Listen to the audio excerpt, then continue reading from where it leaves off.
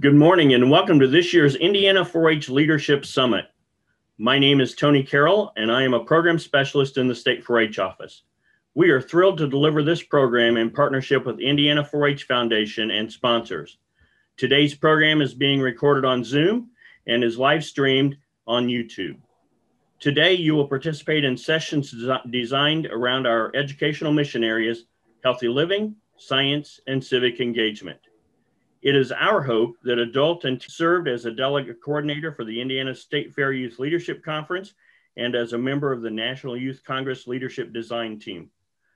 Ethan will be a member of the 2021 State 4-H Junior Leader Council. Thomas Carroll recently completed his 10th year of 4-H in Lawrence County and is a freshman at Purdue, Purdue Fort Wayne campus. Thomas has been active in junior leaders and as a member of the Teens as Teachers program. Thomas served on the 20, 2020 State 4-H Junior Leader Council and will continue in that role in 2021.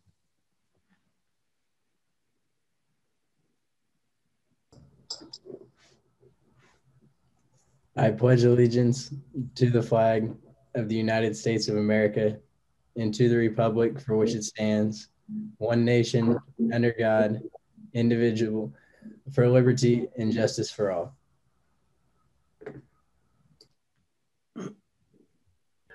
I pledge my head to clearer thinking, my heart to greater loyalty, my hands to larger service, and my health to better living for my club, my community, my country, and my world.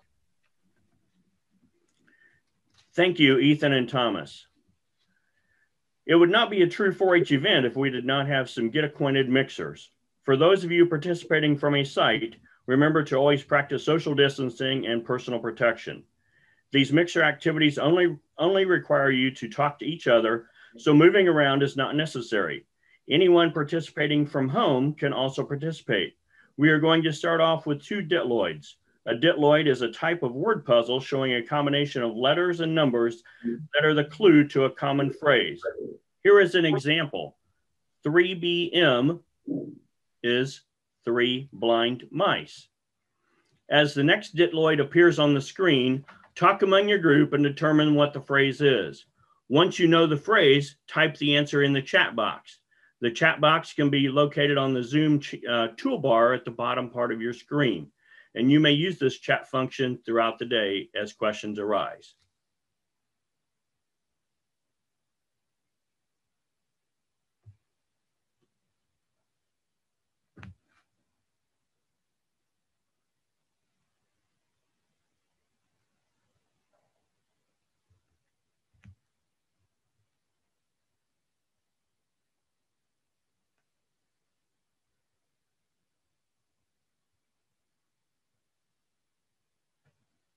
Do we have any takers? To magic to be believed, not quite. Think in 4-H terms. You got a couple that got it right, Tony. Up oh, there we go. St. Joan Hamilton. In. Yes, there we go. To make the best better. There we go. To make the best better. And so now we've gotten warmed up. Let's do a second one now.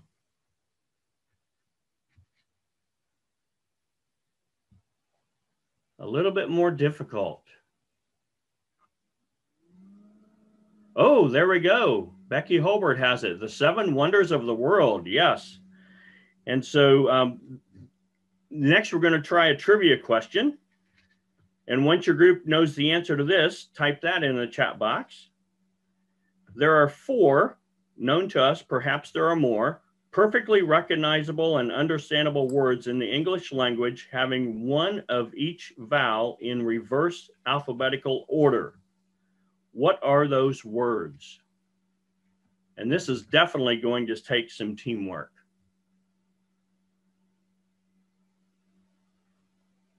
And even if you get one word figured out, go ahead and type it in the chat box.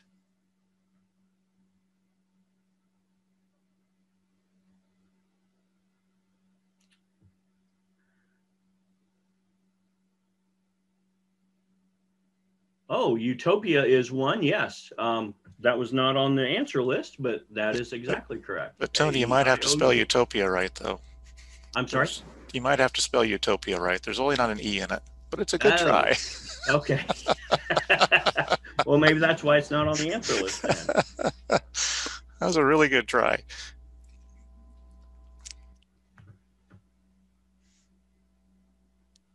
Could always create some new words this morning, Tony. That might be fun, Yeah.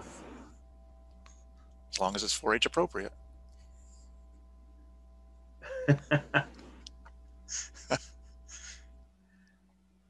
Any other tries?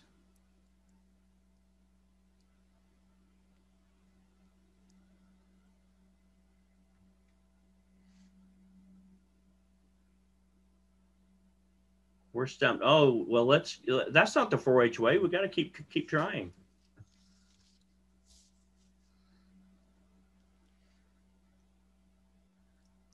Ooh, Hamilton County. I can't believe it's quiet in Hamilton County. It is a very tough question.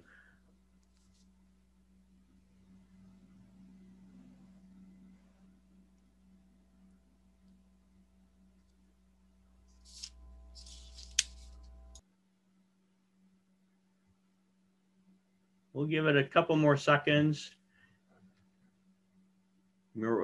I don't even know how to pronounce that word.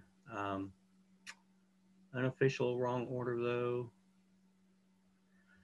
Well, Steve, let's give them the answers.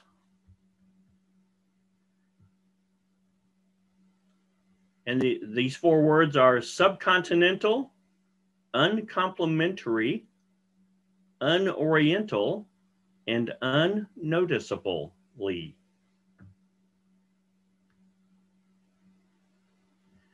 So very good. And so I hope this has gotten everyone in the mood of, and uh, ready to learn today. While mixers typically require physical interaction, as you just experienced, we can still have meaningful mixers in a virtual environment. I did a quick Google search and found today's free mixer activities at www.businessballs.com and click on team building games to find more of these. Today's events could not happen without the 4-H Indiana 4-H Foundation's financial support from their funding funding partners. On your screen are today's sponsors.